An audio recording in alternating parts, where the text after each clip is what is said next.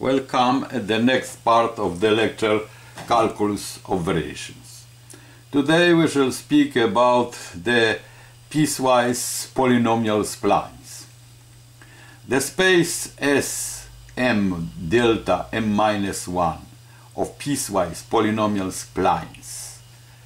The class Sm delta m minus 1 of piecewise polynomial uh, splines of degree m, this m stands for the degree, and differentiable up to the order m minus 1 are successfully applied in the Ritz and Galerkin methods, in particular in the finite elements methods. In order to introduce the definition of polynomial splines of degree m, let us first define normal partition capital delta of the interval a b. The partition delta by the points x0, x1, xn is normal if there exists constant sigma such that the maximum of length of the subintervals xi plus 1 minus xi divided by minimum of the length of all sub subintervals is equal sigma which depends on the number of points n but this number is less or equal than existing sigma constant sigma independent of n. That means that this inequality holds for all natural n. It means that the points of the partition x0, x1, xn should be uh, uh, distributed everywhere. There is no gap when uh, the number of points tends to infinity. it means that the length, the length uh, of the subintervals xi plus 1 minus xi for all subintervals uh, are proportionally, they proportionally tends to 0 when n tends to infinity. If n tends to infinity, then the points are almost everywhere. Let us observe that the uniform partition for which the points are equidistances xi equals a plus ih for all i from 1 up to n is normal because this sigma, the nominator and denominator are the same and the sigma n is 1 and that sigma uh, and independent of n is also 1. So that is always normal partition if we consider a uniform partition of the interval. The definition. A function s of x is said to be polynomial spline of degree m if the following conditions are satisfied s of x is a polynomial of degree m uh, at most m at most m. On each subinterval xi xi plus 1 for i from 0 1 up to n minus 1 so it is piecewise polynomial of degree at most m Second condition is that s of x and its first m minus 1 derivatives are continuous functions on the interval, on the whole interval a, b. The class of all polynomial splines of degree m spanned over the partition delta shall be denoted by the symbol as we have said at the beginning S M m delta m minus 1. Let us go for the a particular uh, space of polynomial splines. The space S1 delta 0 of piecewise linear splines. So when we have m equals 1, then the elements of this space S1 delta 0 are piecewise linear splines of the following form. That is a linear combination of that uh, basis of the Ritz coordinates or Galerkin's coordinates, psi 1, psi 2, psi n, where this basis, these coordinates are psi 1 equals x minus x1 over that. That is clear, I think that is clear, we shall see on the graph. Uh, the, end at 0 uh, uh, beyond the interval xi minus 1, xi plus 1. These are the functions.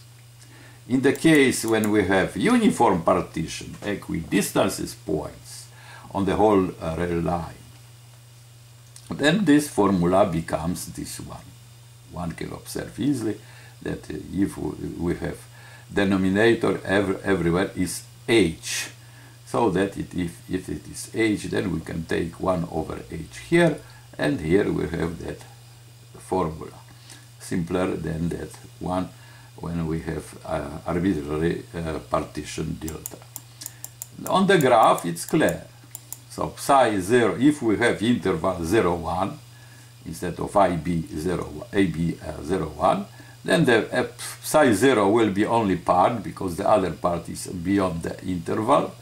Then psi i will be that roof uh, function, piecewise linear, and psi n will be again this part because the other part is beyond the interval 0, 1. So they are so-called roof functions. So these uh, roof functions, uh, um, we, we observe uh, that there are n plus 1 non-zero piecewise linear splines on the interval AB which have support included in AB. Support of each of these uh, core, uh, basic functions, uh, psi i, is the length of the interval because beyond the length of the this interval xi minus 1, xi plus 1, this function, roof function is 0 everywhere up to here and beyond the point also 0. That is clear. So if we consider only interval 0, 1 or AB, then there will be n plus 1 functions non-zero on this interval AB because others will be here 0 and beyond that point also will be 0. Good, that is clear, I hope. So the space of piecewise linear splines is spanned on the coordinates psi 0, psi 1 up to psi n for uh, on the n capital N plus 1 coordinate because we start from 0 up to n. So that, uh, that, that is a dimension of the, of the space. Good. In particular, we find the Lagrange interpolating piecewise linear splines. This is the one which satisfies the Lagrange interpolating conditions that s at xi is the value of the function f. Indeed, if x equals x0, then uh, psi 0 is 1, as we see on the graph. Uh, on the graph we see psi 0 is 1 here. So at, uh, in, at other uh, interpolating nodes is 0. So the, all that uh, values psi 1, psi n are 0 at x0. The same at x1 uh, that, that will be psi 1 will be 1 at x1 but others will be 0 so that is clear that this is uh, very easy to get uh, Lagrange interpolating poly, uh, piecewise linear splines it's a linear combination of the Ritz Galerkin's uh, coordinates with the coefficients the values of the functions. Good. The following theorem holds. If f is a function twice continuously differentiable on the interval ab, then the error of interpolation, that means difference between the function at x for all x, satisfies the inequality. The absolute value of the error is less or equal than a squared over a times capital M for all x, where capital M will be the maximum of the second derivative. It's a very simple uh, clarification of the thesis, it's a simple proof.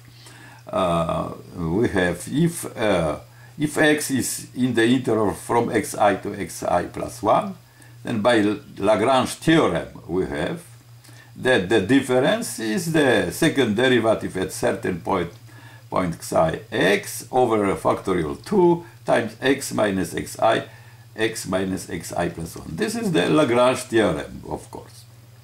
So because this uh, quadratic function here, this quadratic function is easy to find, has maximum mm, h square over 4, everybody can uh, check it, that quadratic function has the maximum uh, uh, estimated by h square over 4, this one. So by this inequality, if we substitute, we get that this difference is less than this uh, the h square this h square over 4 but because we have 2 factorial 2 that will be h square over 8 times m which is supremum of the second of a second de derivative of the function. That is nice. Good. So you have very important theorem proved. Now let us go for the example. Approximate the function sine pi x in the interval from 0 to 2 by piecewise linear spline with accuracy 0.1. How to get it? First, we shall start by to determine the step size h. The error of interpolation f by the piecewise linear spline satisfies the inequality, as we have already said. So if you substitute data, that maximum of that our function, which is sine, uh, that will be uh, second derivative will be pi square times sine, absolute value, because sine does not exceed 1, then we have that capital M is pi square.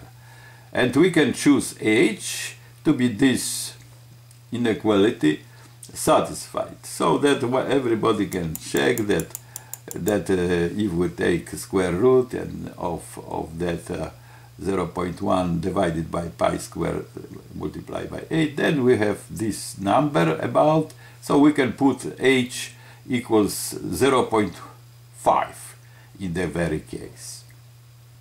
Okay, so then h will be 0.5 again, n will be 0, and uh, the interpolating nodes will be 0, half, 1, 1 point half and 2 and the linear splines will take the following form. The value of the function at 0 sine 0 times first coordinates, second uh, uh, the value of the function at the second point which is uh, uh 0 0.1 half pi, pi over 2 and this and this and this. But that thing uh, this expression is clear that first will be 0 sine 0 is 0 uh, second will be 1 which will be psi 1 third will be 0 because that third will be 0 because sine pi is 0 and sine 3 pi over 2 is uh, minus 1 that will be this. And this again 0 because sine pi 2 is 0 so this uh, we can find that uh, in that four subintervals uh, the, the linear spline will be the, as is 2x in the interval from 0 to 0 0.5, 2 times 1 minus x from the half to 1, minus, uh, 2 times x minus 1 from 1 to 1.5, and minus 2, 2 minus 5 from 1.5 uh, up to 2. The following, uh, let us uh, solve the example using Mathematica module. This is the Mathematica module with parameters function, variable x, uh, interval ab, and number of the points in the partition capital N. So that will be the step size uniform uh, partition we consider. And the piecewise linear spline, the roof function in Mathematica is defined by this expression. This is the roof functions. Of course, we used which command to have uh, Uh, uh, options of the subintervals and that spline will be the same this linear combination. Okay, good. Good. So in order to find the piecewise line spline of this function f in general, we define the function. In our example, we define sine pi x a0 b2 n equals 4. And then we execute the following commands. We have some text to print, uh, yeah, underline and that uh, what is in the first column, second column and third column and that will be the table of that uh, interpolating linear splines under this very data. So now let us go to Mathematica system to find S4, S4x approximating that function S of x. But I think we shall uh, have a better approximation uh, taking uh, n uh, equals uh, equals 10. But let us go to Mathematica. Where is that? It is here. We are Mathematica is coming.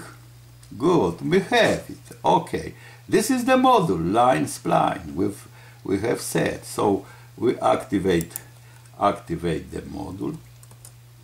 We activate the module, but here uh, we have n equals 2 a0 b2 step. Step it will be that the step different than h but step will be how dense we want to tabulate the approximate uh, the spline approximating spline. Z then we have uh, the text linear spline approximating uh, our function. The underline the argument x uh, the interpolating spline and the function alone. To compare and this table will be here. So we enter data,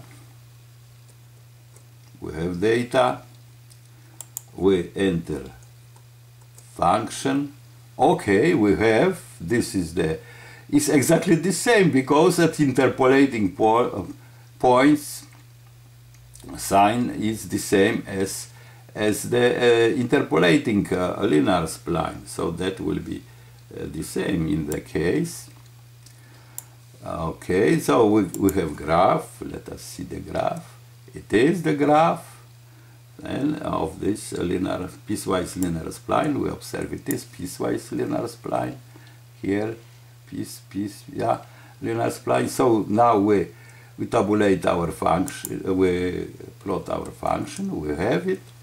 Yeah. Then we go to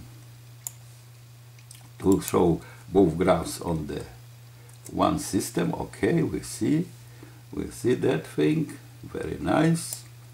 And then we can also uh, find uh, numerical absolute value. So if we tabulate the difference between the linear spline and the function sine, we have that difference and we take absolute value using maximum of absolute value of the error, which is here.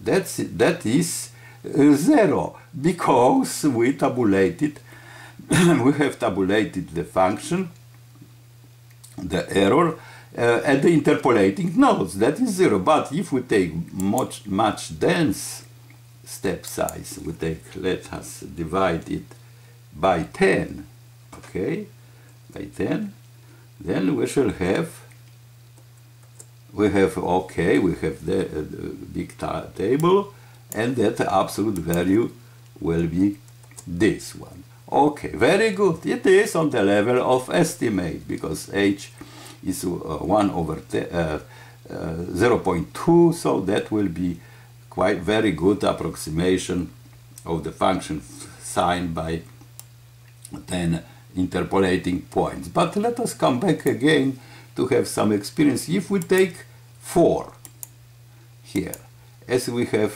said in the text before, if we put here n equals 4, yeah, then let us repeat that calculations. We have enter data. We have the table for the four, four points. Yeah, we have the table. Yeah, okay, then let us go to the plot.